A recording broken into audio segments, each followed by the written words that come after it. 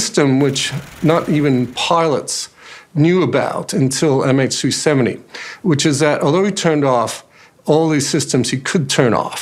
There's, there's one which emits via satellite data from engine performance. And the way it works is that, in this case, about every hour, there's a satellite handshake.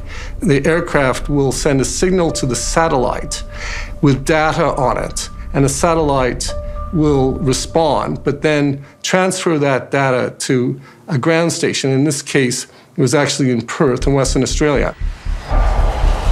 Every hour MH370 is flying, satellites pick up an automated ping from the engines. So the plane is clocked until one final handshake, what's known as the seventh arc.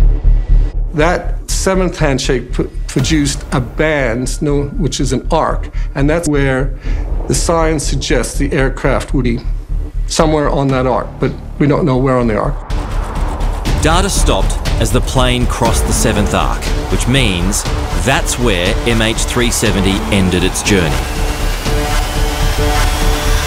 The wreckage is somewhere in the southern Indian Ocean, and as we'll soon reveal, a potential crash site has finally been discovered.